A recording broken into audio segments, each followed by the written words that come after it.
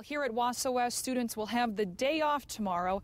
The Wausau School District isn't taking any chances with this weather. They called and emailed parents earlier today before the school day even ended to let them know that classes would be canceled.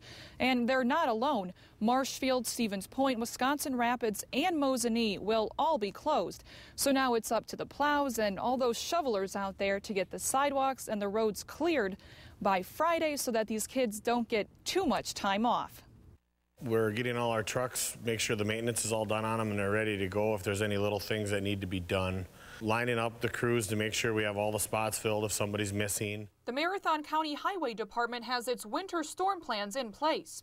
They're checking the radar and working with the DOT so they know when and where to send crews. We have 38 total sections in the County of Marathon, 20 state sections, 18 of them are county sections. Snowfall isn't expected until after midnight, and that's perfect timing since the roads will be mostly empty. We may wait a couple hours after the flurry starts and then go and send the guys out to, to keep up with the storm all day Thursday.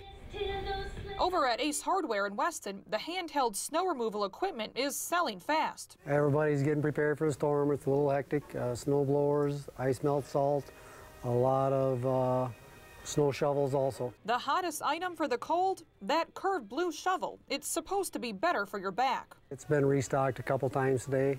And yesterday we had people getting ready already. This morning when we come in, it was pretty bare. We had to refill it.